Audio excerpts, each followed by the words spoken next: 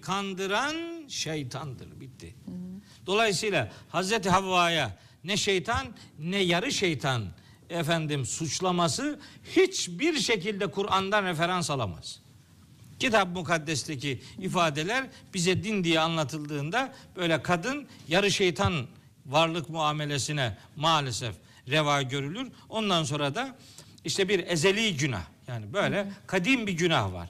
Yani Hazreti Havva Adem'e işte bu yanlışı yapmasaydı bilmem şu şu şu şu olmazdı diye böyle bir de bir edebiyatımız var. Böyle bir acayip bir edebiyat belirledik. Ondan sonra bunların içerisinden baktığınız zaman kadın kadın tabii ki kötü bir varlık olarak görülüyor. Her türlü fitnenin, fücurun içerisinde kadını görüyorsunuz. Çünkü onu şeytanla özdeşleştiriyorsunuz. Halbuki Kur'an-ı Kerim'de şeytanın kimlerden olduğunu Allah söylüyor bize. Evet biz şeytanı cinlerden biliriz. Ama şeytan sadece cinlerden değildir. İnsanların da şeytanları vardır. Ama burada bir cinsiyet göndermesi yoktur. Ve kedalike cealna likulli nebiyyin aduven şeyatinel insi vel cinni. İnsan ve cin şeytanları peygamberlere düşmanlık yaparlar diye. Hatta Nas suresinde de geçer. Ellezî yuvesvisu fi sudurin nasi minel cinneti ven nasi. Cinlerden ve insanlardan insanlara vesvese veren şeytan ve şeytanlaşmışlar vardır.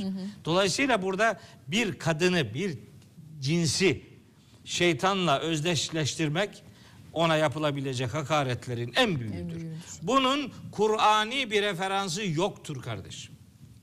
Böyle başka rivayetlerden, başka kanaatlerden, başkalarının efendim şekillendirdiği algılardan hareket ederek yazılan kitaplar çok da Arapça olsun, çok da mühim değil.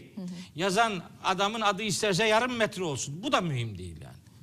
Söylenen söz Kur'an'a uygun mu değil midir? Hele ki bu söz kitabı mukaddes gibi İsrailiyat diyebileceğimiz bir kokuyla geliyorsa ona karşı biraz daha dikkatli davranmamız lazım. Biraz daha acaba bunda bir sıkıntı var mıdır sorusunu sormamız lazım. Bir Müslüman olarak, bir Kur'an insanı olarak, bir Kur'an gönüllüsü olarak bu tür rivayetlerle Kur'an'ın, İslam'ın üzerine üzerine gelenlere karşı ben niye elin alemin yanlışını savunmak zorunda kalayım?